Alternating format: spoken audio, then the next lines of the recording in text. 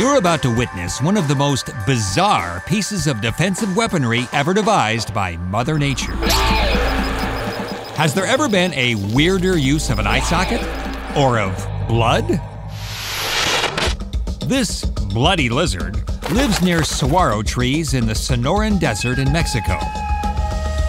A bird drops saguaro fruit for the harvester ants to munch on. And in turn, the regal horned lizard munches on the ants. The ants make it their business to fight back, looking for a chink in the lizard's body armor. Unfortunately for the ants, the regal horned lizard has a sticky tongue with pretty good aim, and it's immune to ant venom. And its body can actually get all the moisture it needs from the ants, which make up 90% of its diet. Just as the ants are stalked by the lizard, the lizard is stalked by a coyote, the next link on the food chain.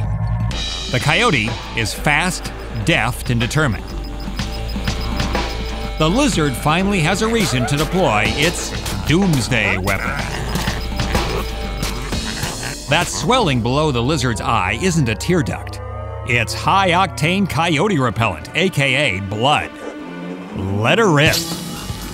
Blood pressure builds up to the point where the lizard can actually shoot blood out of its eye with the precision aim of a sharpshooter.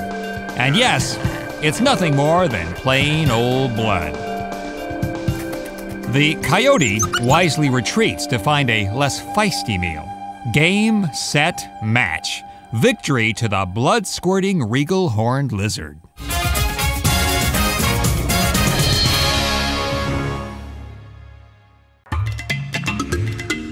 For the best subscription offers to any National Geographic magazine, log on to nationalgeographic.com/magazines.